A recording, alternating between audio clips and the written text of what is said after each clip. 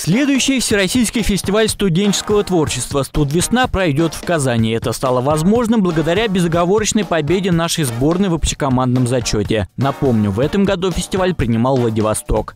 А уже в эти дни в Казани покажут фестивальное короткометражное кино «Кинематик Шотс». В программу вошли яркие работы молодых режиссеров из Сербии, Кипра, США и Франции. Стали известны цены билетов на поезд по высокоскоростной магистрали Москва-Казань. Ориентировочная цена для туристов составит от полутора до двух тысяч рублей. Проектирование скоростной магистрали планируют закончить в 2016 году, а первый участок запустят уже в 2018. Проект подземной галереи на Баумана разморозили. Решение достроить подземную улицу, которую казанцы ждут уже 10 лет, приняли в мэрии города. На реанимацию необходима сумма в 30 миллионов рублей.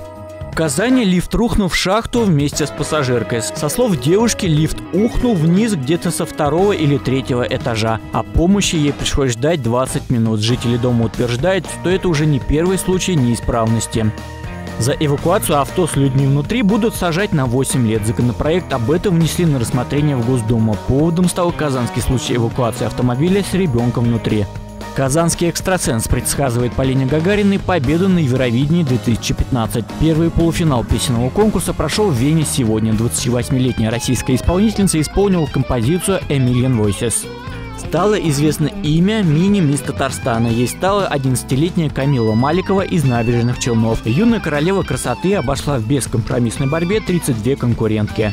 Казани вновь активизировалась мафия попрошаек. Одна группа подростков продает брелки и магнитики якобы в помощь Зеленодольскому детскому дому, другая – фонду Анжелы Вавиловой. Однако в самом фонде ни о каких акциях даже не слышали, а вот детский дом Зеленодольский и вовсе закрыт несколько лет назад.